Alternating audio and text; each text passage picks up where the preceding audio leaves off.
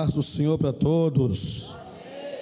Livro de Gênesis, capítulo de número 18. Externa minha eterna gratidões a esse Deus maravilhoso.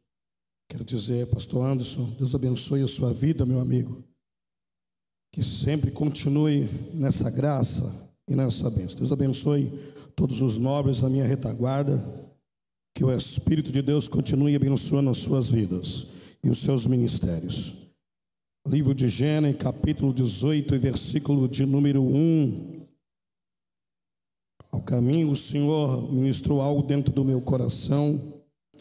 Trago saudação da minha igreja, da igreja do Senhor. Trago saudação da convenção CIPAF. Que Deus abençoe as vossas vidas. Capítulo de número 18, versículo de número 1 que diz assim a palavra de nosso Deus: Depois lhe apareceu o Senhor nos cavalhais de Maré, estando ele assentado à porta da tenda, quando tinha aquecido o dia. Amém. Entendemos muito bem dentro desse texto um momento muito delicado da vida desse homem por nome de Abraão. Vemos a história de Abraão, nosso pai na fé, esse homem depositou toda a confiança no Senhor. Esse homem depositou toda a sua fé no Senhor. Esse homem depositou a sua família na mão do Senhor.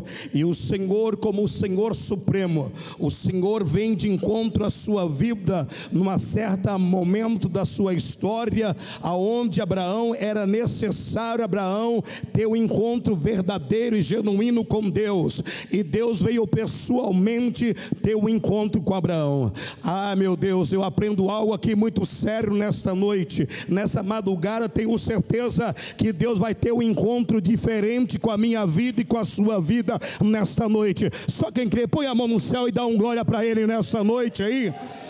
Entendemos muito bem dentro desse texto, aonde nos revela que Deus, a segunda pessoa da Trindade Divina, nosso Senhor Jesus Cristo, numa forma teofânica, ele vem pessoalmente ter um diálogo com Abraão, ele vem confirmar a promessa que ele fez para Abraão, ele vem firmar aquilo que ele disse para Abraão, mas só que ele vem, mas ele vem diferente desta vez. Dessa vez ele veio pessoalmente, ele pisou na terra pessoalmente, ele veio sentir ah meu Deus do céu, o calor da terra, ele veio sentir, oh meu Deus do céu, a preparação, porque aqui na frente ele viria também pisar na terra para falar com um povo, um povo diferente, um povo que seria a diferença em cima da terra. Cadê esse povo que é a igreja, que abre a boca para glorificar ele nessa noite?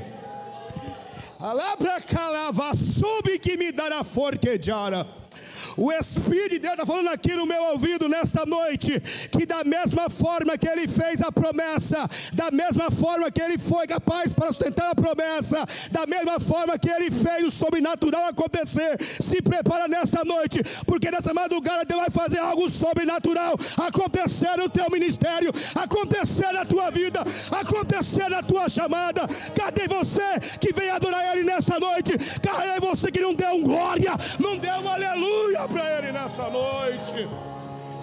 Sheriam tekala promete axtewi repami chombe nikiam de probnahai irmã cala promontéria calava sub que me dará o Senhor me disse ao olhar para ti serva se prepara porque o que Ele tem para ti é muito grande.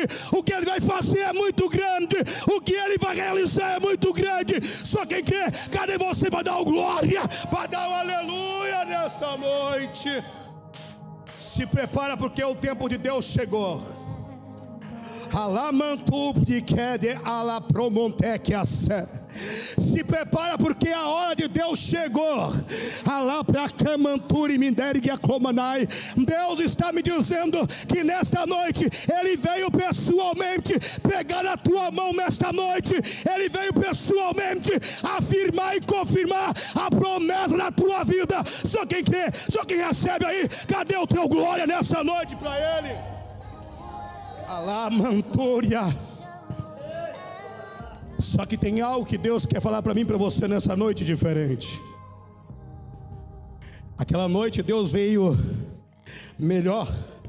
Naquele momento Deus sabe o que Deus veio fazer.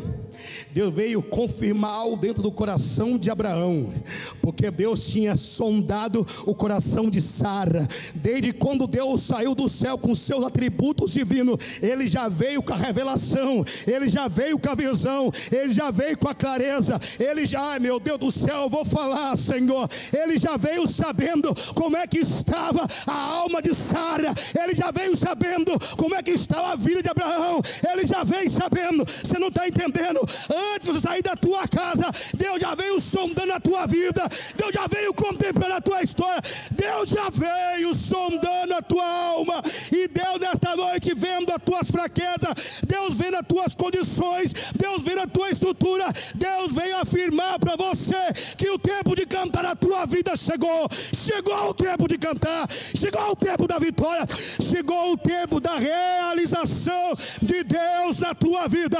Só quem crê assim, por favor, ajuda eu a pregar aí, abre a boca e dá um glória para Ele aí. O tempo de Deus na sua vida chegou. Só quem quer, põe a tua mão para o céu. Eu quero liberar uma palavra profética na sua vida. Deus veio pessoalmente nessa vigília. E Ele manda liberar sobre a tua vida, sobre o teu ministério. Ainda que você não esteja vendo nada, ainda que a luta esteja grande demais, Ainda, oh meu Deus, eu vou falar. Ergue a mão para o céu quem crê. Ergue a mão no céu quem crê. Sustenta a mão no céu. Ainda que você não esteja vendo nada, o meu Deus está dizendo que Ele é o Deus do impossível. O meu Deus está dizendo para você que Ele vai transformar o impossível no possível. E a tua vitória é garantida para a glória e louvor do nome dEle. Só quem quer, põe a mão no coração. Abre a boca e adora Ele nessa noite. Aleluias.